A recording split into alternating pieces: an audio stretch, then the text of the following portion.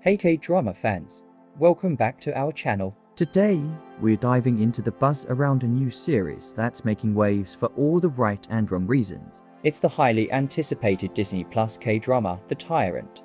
And while it's got everyone talking, not all the chatter is good. Let's get into it. On August 12th, The Tyrant made its grand debut, starring the incredibly talented Kim Seon-ho, alongside Cha Seung-won, Kim Kang-woo, and Jo Yoon-su. The series follows a gripping storyline about the race to recover a stolen bioweapon, with Kim Seon-ho taking on the role of a national intelligence director, while Jo Yoon-su plays a technician turned thief. Fans were excited for this thriller, especially after seeing the intense teasers that promised action, suspense, and some seriously dark themes. And when it comes to the plot and the acting especially from Kim Seon-ho and Jo Yoon, so the show does not disappoint.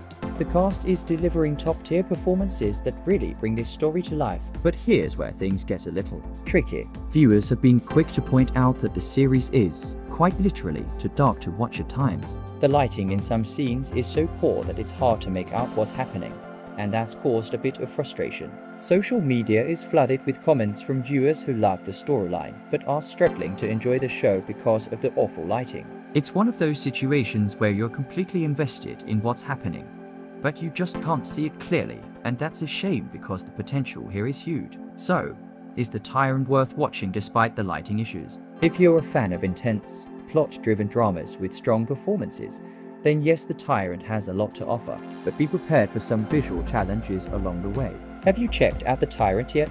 What do you think of the lighting issues? Let us know in the comments below. And if you're loving the content, don't forget to like, subscribe, and ring that notification bell so you never miss out on the latest K-drama news. Thanks for tuning in, and we'll see you next time on I Got News.